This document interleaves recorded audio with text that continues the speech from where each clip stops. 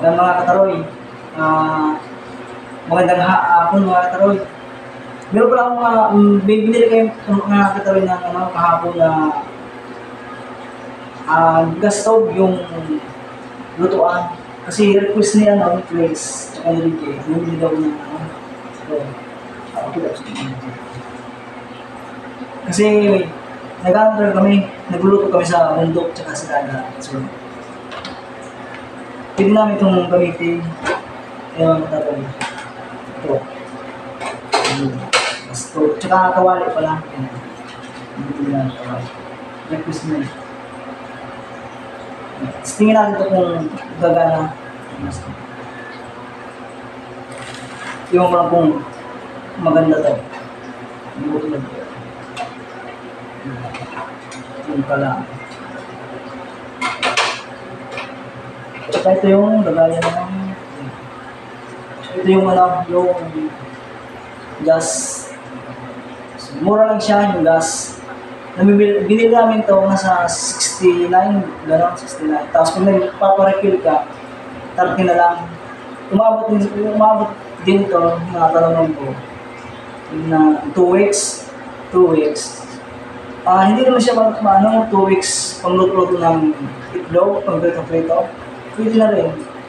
Huwag lang yung may sabaw. So, maganda rin ang gamitin ganito.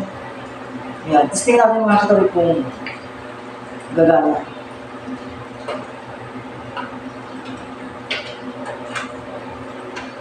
Yan. Tapos, yan. Eh, ano natin yun?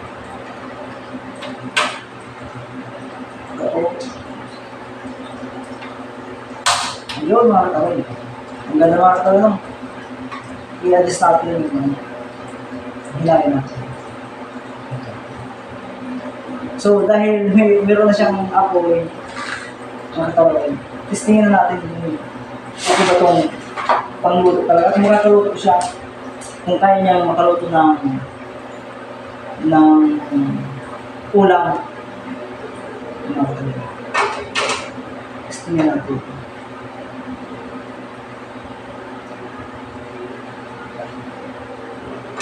Mo kita katawin. Alis na tayo. Muntik na.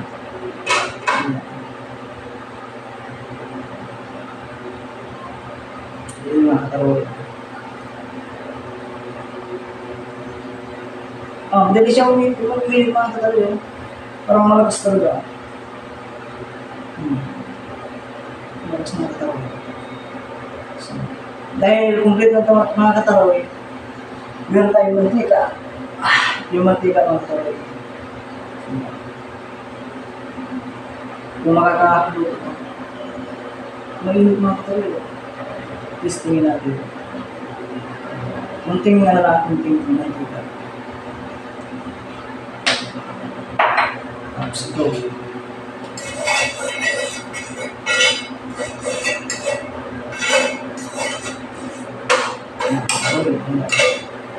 Ulot-ulot tayo ng katawan. Tapos na- parang sobrang init mga katawan. Pahinain natin. Yun, pahinain natin. Ah, Siyempre, bum- bumili na ng mga katawan yung ano, ah, ham. Try ko lang kung ito ang ham.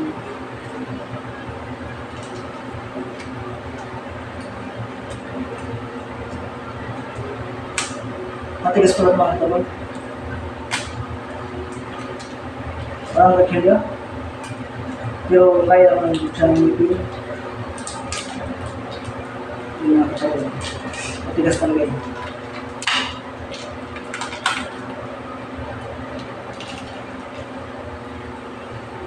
Parang hindi mo buksan eh. Ang hirap lang mga katawid. Ayan, buksan na. Malambot din pala siya eh. Ayan, ham. Ang init ng mga katawid. Ganun-ganun natin para hindi. Try natin mga katawid. Parang ang ganda nito mga katawid. Ito yung ham. Ang sarap mga katawid. Try natin. Yun mga katawid.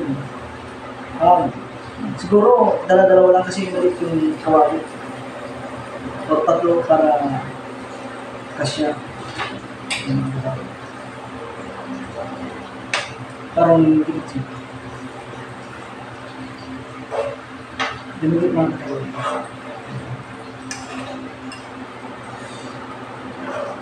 Pwede natin adjust, palakasin natin yung yung apoy.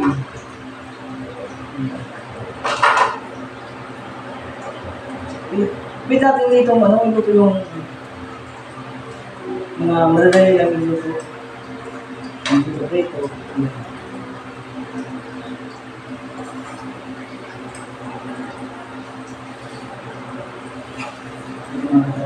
rito. Ang ang bilis mo mga kaya. Sobrang init. Ganun.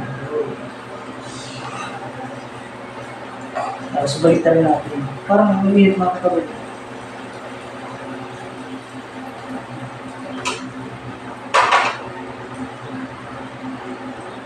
Ayos-ayos lang. Ang ang bilis mo ng hammer ko, ano tayo. Um, nakakataon na ako.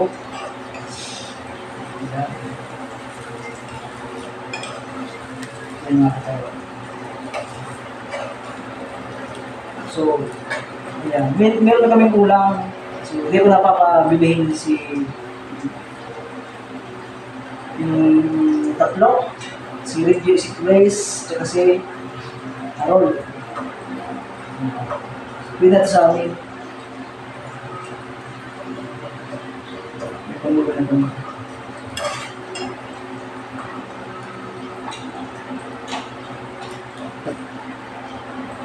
Walang lagayang, mga tao.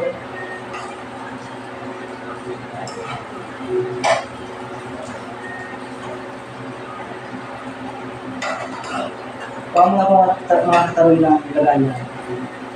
Yung mangko.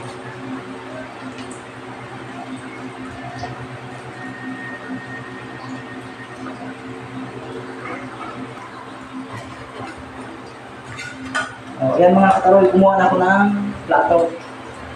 So, yan, luto na yung ating ham.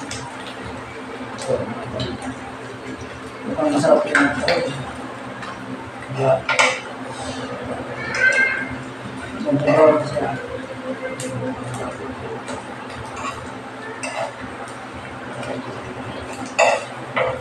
Ito yung ham.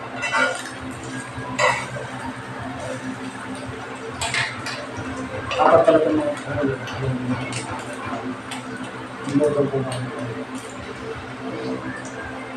Ang sarap ng kahalo. Tapos, yung itlog mga kataroy, ito. Try natin kung kaya yung ng itlog. Pero lagyan ko ng mantika.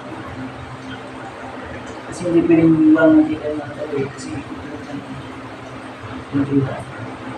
Para maluto. Itlog natin.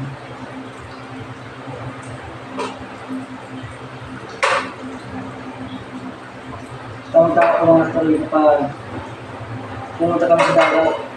Nagluto kami tapos sa bundok. Tapos sunod naman mga nataro na bilhin namin, yung, yung maliit na gasol, yung ganito lang ka, ano, tapos yung, kaya ko lang may nabibili doon sa lugar namin. Mura lang naman, ang, ano, 300 na lang ang pa prepaid. Tapos naabot din namin isang buwan yun. Tamang-tama yung pang medyo kumahal kaso ng konti. Ito kasi tamang lang tayo. Ano lang katabi. Ito.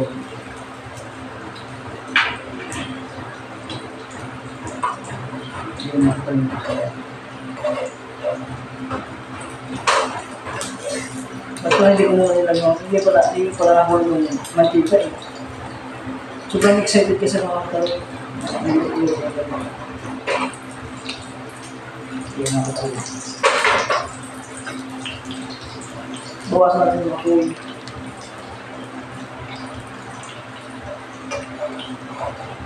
Ah, hindi pala siya nabigay sa ano. Hindi pala siya nabigay sa mga tao. Tapos may asin, mga kataroy.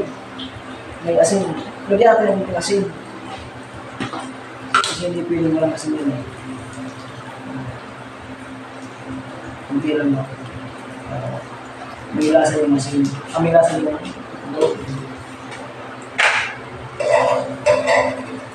Yung pwede pala kataroy sa ano, yung itlog na ganito. Kasi ito yung gusto kong luto. Hindi ko nakakaluto ng ganito itlog. Pwede pala magluto ng itlog yung ganyan.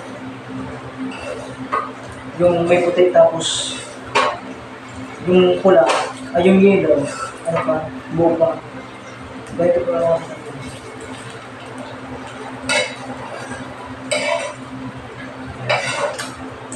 Kung ano pala yung hindi pala yung yung yung na dalawa.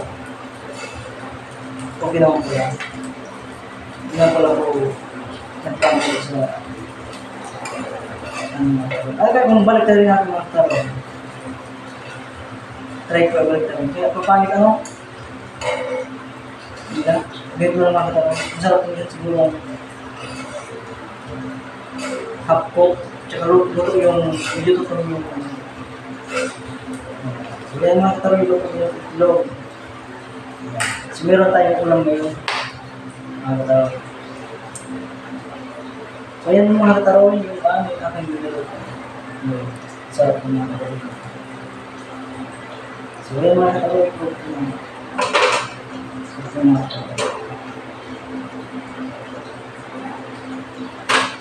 Ayan. Dahil nakaluto na mga kataro, eh. Ayan. May ulam na ako. Salamat sa mga nan- nanonood. Ah, sana marami pa akong may luto dito mga taro. So, panimula ko lang ito. Yung, trinay ko lang kung ayos ba siya gamitin mga taro. Eh, okay naman. So, continuous na natin. Okay naman pala. So, ayan po mga taro. Thank you for watching sa lahat. Asa na nag-enjoy kayo sa kahit hindi naman kagandahan yung aking vlog. Thank you for watching.